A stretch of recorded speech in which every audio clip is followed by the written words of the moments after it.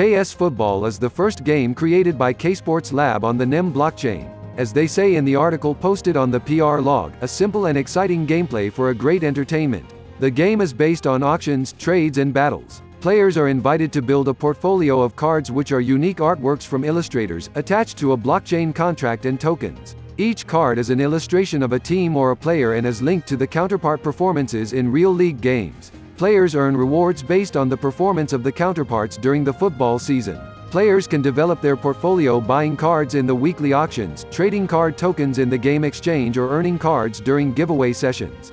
They can also acquire special cards from a top players list or from the Office of Legends.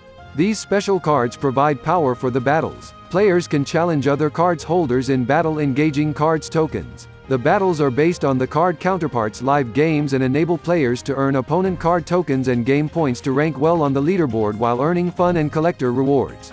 Everything for football fans. The news release partner Stex.com.